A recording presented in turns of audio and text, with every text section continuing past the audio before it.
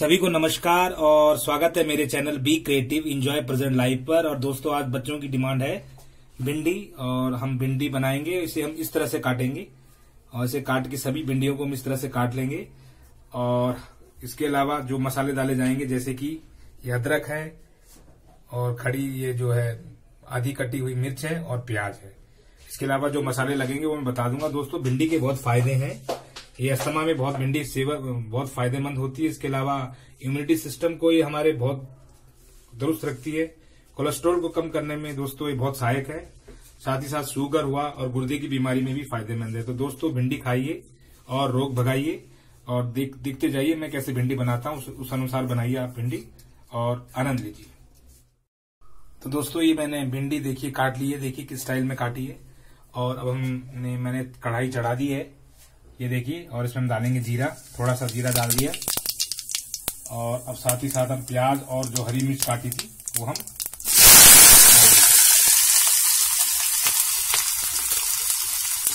ये डाल दिया। और साथ ही साथ अदरक भी डाल देते जो हमने कुर्सा था।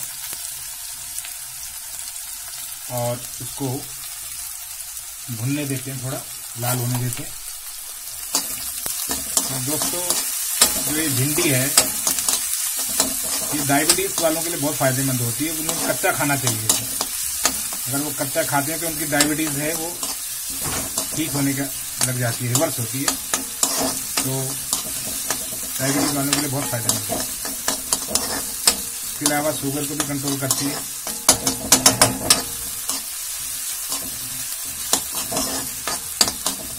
तो ये दोस्तों मैंने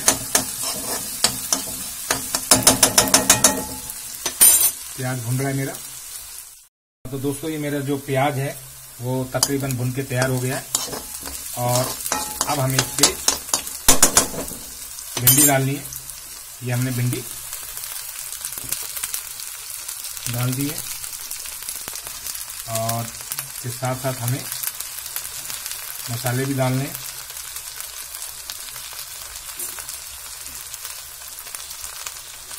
ये देखिए।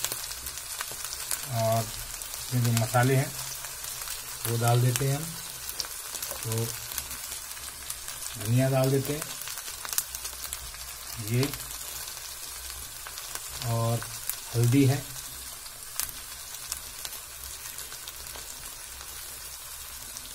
ये डाल देते हैं हल्दी। थोड़ी सी लाल मिर्च डालें, क्योंकि बच्चे लोग लाल मिर्च नहीं खाते हैं। और गरम मसाला है, थोड़ा सा हमें गरम मसाला डालना है। और दोस्तों, खटाई के रूप में हम इसमें थोड़ा सा बाद में जो है नींबू डालेंगे, या फिर हम चूर डाल सकते हैं। तो हम नींबू डालेंगे और ये है नमक, जो कि एनर्जी जिससे मिलती है हमें, वो हम डालेंगे। और इसे धीमी आँच में हमको पकाना है। ये बन के तैयार हो जाएगी। दो कोई, दोस्तों, इसमें कोई तामझाम नहीं है भिंडी की सब्ज़ी में। बहुत झटपट सब्ज़ी है इसे, झटपट सब्ज़ी कहते हैं। और लोग लाइक भी बहुत करते हैं। तो भिंडी बनाइए और उसका आनंद लीजिए।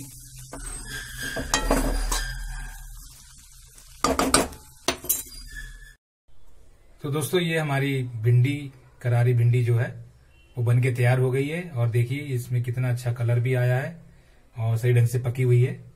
इसे हम सर्व कर सकते हैं रोटी के साथ। तो धन्यवाद दोस्तों, घर में बनाइए भिंडी और आनंद लीजिए।